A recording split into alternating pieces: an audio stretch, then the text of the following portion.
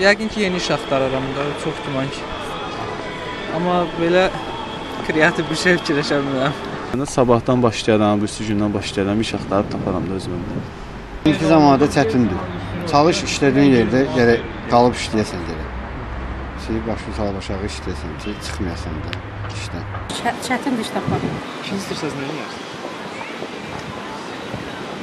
Aa, Düşüb axtararıq, nə bilim.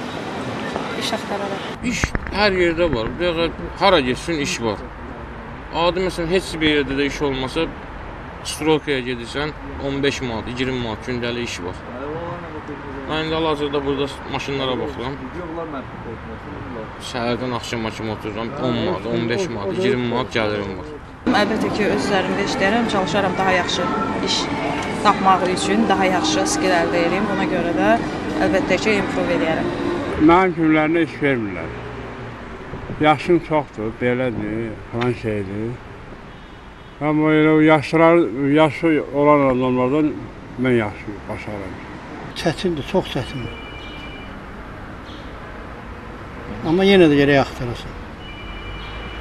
Dayanmaq olmaz. Mən yaxşı təqaüd alıram, ona görə də ehtiyac yoxdur.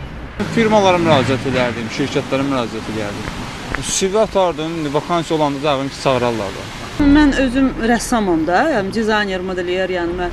Yəni əgər işimi itirsəm, hal-hazırda universitetdə müəllimə kimi çalışıram. Yəni işimi də yəqin ki, rəssamlığımla məşğul ola bilərəm. Ondan o cümlədən mən hobbi kimi fotoqrafla da məşğulam. Yəni foto işlərlə də eləyə bilərəm, foto da çəkə bilərəm. Yəni mən burada heç bir ə, utanqlıq, heç bir belə bir qeyri bir adi bir şey hiss etmirəm. Yəni çox sərbəst, çox gözəl. Yəni mən foto işi ilə də fotoqraflıq da edə bilərəm. Tapmaq asan deyil, amma mənə fotoqraf da lazımdır.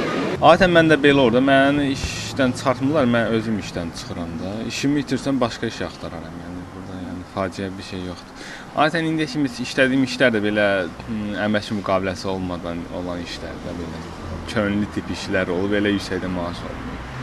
Yəni dövlət işi olmadığına görə. Yəni faciəli bir şey yoxdur. O əgər əmək müqaviləsi olsa qanuni proses olmalı, yəni ki, əgər e, işdən çıxarılarsa kompensasiyası olması olmalıdır, səbəblər olmalıdır, öncədən xəbərdarlıq olmalıdır bu. Amma hələ ki mən elə bir işdə işləmədiyimə görə elə bir şeylə rastlaşmamışam.